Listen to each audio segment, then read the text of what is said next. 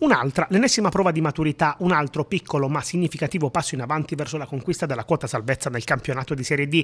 Il Bisceglie strappa un punto prezioso anche a fondi, ci riesce in rimonta la formazione allenata da Claudio De Luca al cospetto di una delle squadre più quotate dell'otto in piena corsa per un piazzamento playoff.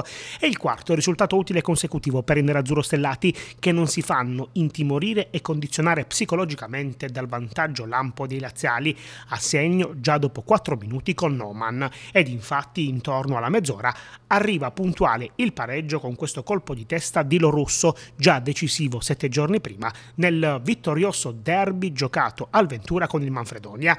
Diventano così 38 i punti del Biceglie in classifica. Domenica prossima, ancora in trasferta contro il Picerno, sarà già primo match point salvezza uno, anzi tre passi in avanti verso la conquista della permanenza senza passare dai playout li ha compiuti il Manfredonia battendo al Miramare il fanalino di coda Gallipoli con un gol di Derita prima del riposo.